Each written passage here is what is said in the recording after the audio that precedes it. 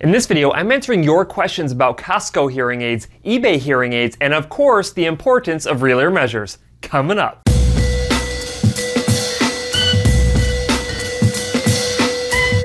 Hi guys, Cliff Olson, Doctor of Audiology and founder of Applied Hearing Solutions in Anthem, Arizona. And on this channel, I cover a bunch of hearing related information to help make you a better informed consumer. So if you're into that, consider hitting the subscribe button. There is a lot of misinformation out there in the hearing industry, and I wanted to start this channel to really shine a light on the pros and cons in the hearing industry and show you the things that you need to be aware of so you can become a better informed consumer, and hopefully I've been able to do that. This channel hit 2,000 subscribers a few weeks ago, so I wanted to take this opportunity to answer some of the questions that you guys have been leaving on the videos. Before I jump into these questions, I just want to thank you so much for all of the support you've given me on this channel. Every view, like, share, and subscription is greatly appreciated. The first question comes from Mike Wallen.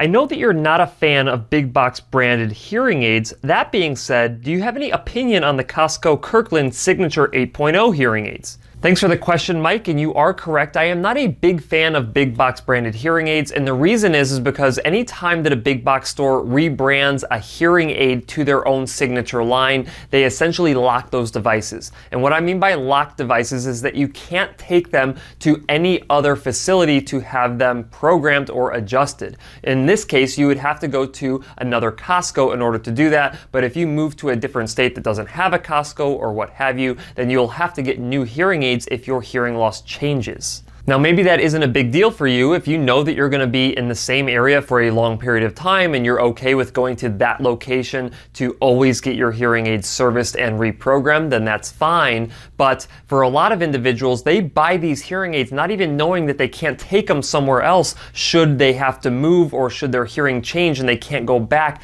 to their original location. Kirkland hearing aids are basically rebranded Rexton hearing aids, and Rexton is owned by Sivantos. Sivantos also owns Signia. So you're getting a really good device. In fact, when you do the product comparison, it shows that the Kirkland Signature 8.0 device is basically on par with a premium level device from Rexton. I have had a number of industry representatives tell me that the devices these manufacturers sell to Costco are somewhat defeatured, but unless you are an experienced hearing aid user who's been in premium technology of some name brands, you probably wouldn't even be able to tell the difference. Now, if you choose to go this route and get your hearing devices from Costco, you need to make sure that the Costco you go to follows best practices. Now, if you have any question of what best practices are, I suggest that you watch my other videos. Uh, for instance, the one that I'm talking about real ear verification or real ear measures, and the other video is talking about what you should expect during a hearing aid fitting. If you watch those two videos, it will give you a really good idea of what types of questions to ask before deciding to go to Costco to get your Kirkland Signature 8.0 hearing aids.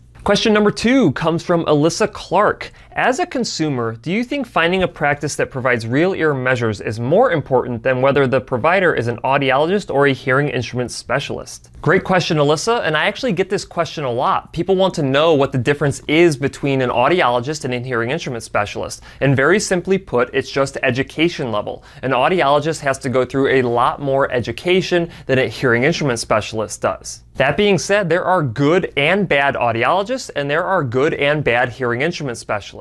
So when it comes down to real ear verification, if you are going to a provider that does real ear verification, the chances are is that they're following other best practices in order to maximize your performance with hearing aids. So in the light of that, I would say it doesn't matter whether or not that provider is actually an audiologist or a hearing instrument specialist. So to answer your question very simply, I think real ear measurement is more important than whether you go to an audiologist or a hearing instrument specialist. All right, question number three. This one is from Judy Glodek. I'm looking to purchase hearing aids and thinking of buying them at Costco. Do you have any experience with their ability to fit a patient properly? Price is a factor, and I know they are much cheaper than going to the doctor's office. But I do not want to be throwing money away either. Any suggestions I greatly appreciate. And I greatly appreciate your question, Judy. There are some great Costco facilities out there that follow best practices. They have audiologists, extremely highly trained individuals to be able to diagnose and fit you with proper technology, but it really comes down to is that specific Costco actually going to be providing you with best practices. Now, I have heard from several off the record credible industry sources that have told me that only 20 to 25% of first time Costco hearing aid users actually return to Costco for their second set of devices. Now, when I hear numbers that low, it tells me two things. Either those Costco's are not providing best practices in order to maximize the benefit of the hearing aids that people purchase from them, or the experience that patients patients go through when actually receiving treatment from Costco is not up to par. Does this mean that your Costco would not be a good option for you? No, it does not mean that. But at the same time, if your Costco does not have a hearing care provider that is experienced enough to know what best practices are, or that cares enough to actually employ best practices, or if that Costco you go to is extremely busy and they don't have time to service you when you need to get service, then that can be a problem. And I think that these are the reasons that a lot of people are not returning to Costco to get their second set of hearing aids. If you still feel compelled to go to Costco, that is fine. Just make sure that you do your research on that particular facility before you decide to purchase hearing devices from them. In fact, if you are not going to go to Costco and you're going to any hearing care facility, you need to do your due diligence on them as well. Question number four is from MK Phelps. What are your thoughts on the CIC hearing aids being sold on eBay? They say on some of them that they're programmable. Another great question, MK, and there are actually two different types of CIC hearing aids that you can purchase on eBay. The first category is a CIC or completely in the canal device that was previously owned by another individual that is a name brand hearing aid. It's very important that it's actually a name brand hearing aid that was purchased from a legitimate manufacturer through a legitimate outlet.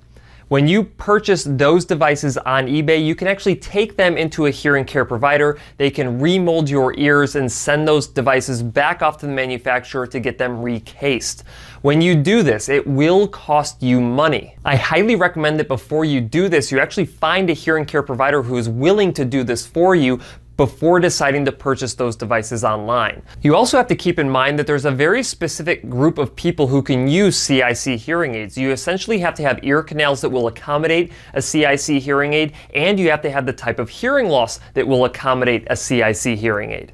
The other type of CIC hearing aids that you can find on eBay are generic devices. These devices generally come over from China or India. Sometimes they actually have a name brand on them, but these are just the counterfeit version of these hearing aids, and they are not customizable in the sense that they don't custom fit your ear canals. They do have different sleeves that you can attach to these devices to get somewhat of a decent fit inside of your ear, but they're also not programmable. So if you buy the generic devices, some device that is not name brand, you can't take that device into a hearing care professional and have them program it. They don't have the software for these counterfeit or generic hearing devices. So if you want to be able to have these devices custom programmed, then you unfortunately have to buy a name brand device that was used previously by another individual, or you have to bite the bullet and go to a hearing clinic and actually buy new ones. That completes my first question and answer video. I hope you enjoyed it.